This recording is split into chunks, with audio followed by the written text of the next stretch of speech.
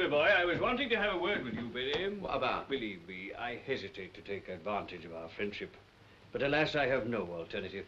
You couldn't lend me a couple of pounds, could you, Benny? Yeah, you're right, I couldn't. Pity, I had one or two little business transactions on hand. Just a few irons in the fire, you know. But unless you have the ready cash, the fire's apt to go out. Look, a quid, all I got. Here's ten bob. You sure? Go on, take it before I change my mind. You're a good lad, Benny. Yeah, forget it. And by the way, Benny, you wouldn't be interested in a couple of thousand American cigarettes, would you? Hot? Hot? No, no, no, no, no, no. A little warm, perhaps. Some other time, eh, Bob? Well,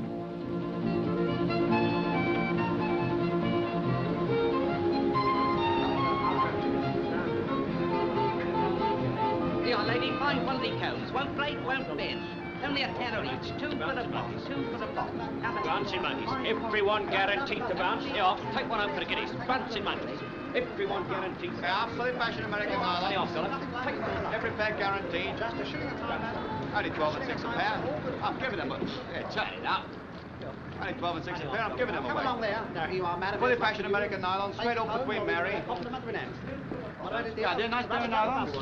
No rubbish. Go on, have a look for yourself. Fully fashion American nylons. All right, dear, what size? Don't go without going. A shilling I a know. half. Take one home for the children. Finest way you can money on the market. there. No, no. Now, What about you, madam?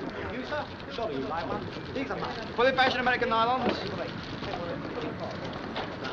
Here we go again, boy. Blimey, the law. Sorry, dear, early closing.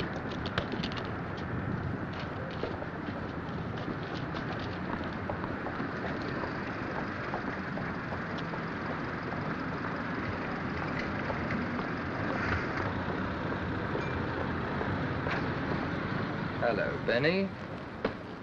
How would you like to come along to the station and have a nice cup of tea?